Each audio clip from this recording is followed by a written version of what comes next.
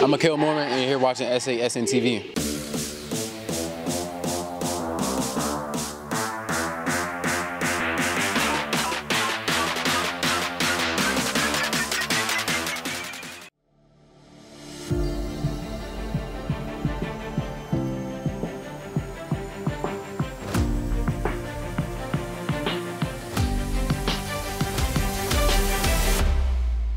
Mykel Morman, class 2023, cornerback.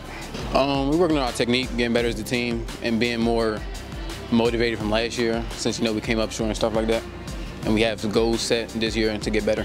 This year we're working on more of reaction drills, looking at our hips, making sure if the receiver beats us on like a comeback or whatever, we look at their hips, make sure they coming down and we're right there, and being on the spot with the ball. Me, I'm getting back faster, but I'm already fast. So this year I'm really working on my body, get my body back right since I lost a lot of weight, trying to get my weight back up, get back up to Q. Um, my mindset is really getting back to the championship, you know, since we lost, came up short, trying to win it this year, trying to get back better and stronger.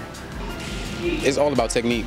One, because you got to react to the receiver. If they already got a step on you, you got to have a technique to get back and back in Q with them so you can keep up. So basically, if we up in man and the receiver look in your eyes, you like, okay, he must about to be doing something because you know he want. I feel like he, about to get the ball, so that's when he actually lock in because you know when they running when they running backside and front side, they just they just stand regular and just jog and block. Mm-hmm. So that really gives them off. It's really home. You know, I went to the camp, they offered me. Next day I was happy. So then went on a visit next week got there, then I committed like a week after. Really excited for it. Because Maryland was the first school that was actually looking at me, like from track season.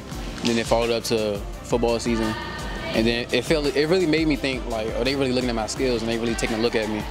And they've been following up for my progress and stuff like that. Okay. I'm going to be majoring in kinesiology because I like the major body functions of the human body and stuff like that. I just always been a science, science type of person. I'm Mykel Morman and you're here watching SASN TV.